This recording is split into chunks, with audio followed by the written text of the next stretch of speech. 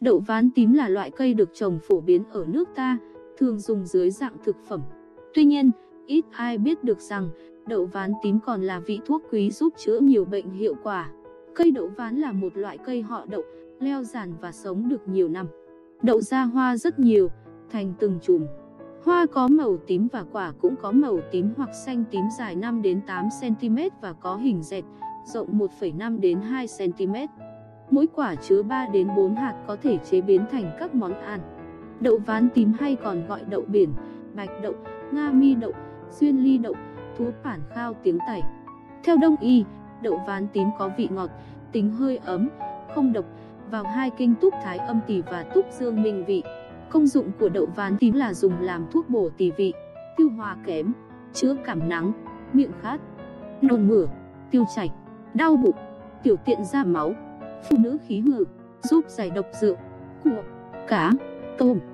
Thành phần hóa học trong đậu ván có chứa carbohydrate 57%, protein 22,70%, chất béo 1,8%, các chất khoáng vi lượng, calcium 0,046%, phosphor 0,052%, sắt 0,001%.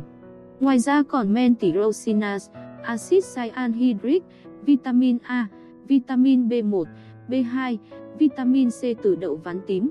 Đông y điều chế ra các vị thuốc như lá cây đậu ván tím có vị cay, ngọt, tính bình, hơi độc. Tác dụng chữa tiêu chảy, kèm nôn mửa, gân co rút, nhọt độc, bị đòn, ngã chấn thương, lá giã nát đắp vào chỗ rắn cắn. Hoa đậu ván tím có vị ngọt nhạt, tính bình, không độc. Tác dụng kiện tỳ hòa vị, thanh thử hòa thấp. Dùng chữa bệnh lị, tiêu chảy, xích bạch đới hạ. Hoa đậu ván rửa sạch, giã nát, đắp lên vết rắn cắn. Lưu dùng 4 đến 9 gram. Giấy cây đậu ván tím. Đông y dùng chữa viêm đại tràng, đại tiện xuất huyết, trí lở loét, tiểu tiện nhỏ giọt, nước tiểu đục. Lưu dùng 6 đến 9 gram. Dây đậu ván tím dùng chữa chứng họng vướng đờm, ngực đầy tức khó chịu. Dưới đây là một số bài thuốc từ cây đậu ván tím. 1. Bài thuốc chữa ban xuất huyết, chuẩn bị hạt đậu và tím 100g, hồng táo 20 trái, đường phèn 50g. Thực hiện, tất cả cho vào nồi sắc với nước, chia hai lần uống trong ngày. 2. Bạch đới nhiều mà trong loãng, chuẩn bị đậu ván 15g, hạt mã để 12g, củ mài 18g, mai mực nướng 6g. Thực hiện, sắc uống, dùng một ngày một thang. 3. Ỉ chảy do tỳ hư, chuẩn bị đậu ván 50g, củ mài 60g, sơn cha 40g, mạch nha 30g.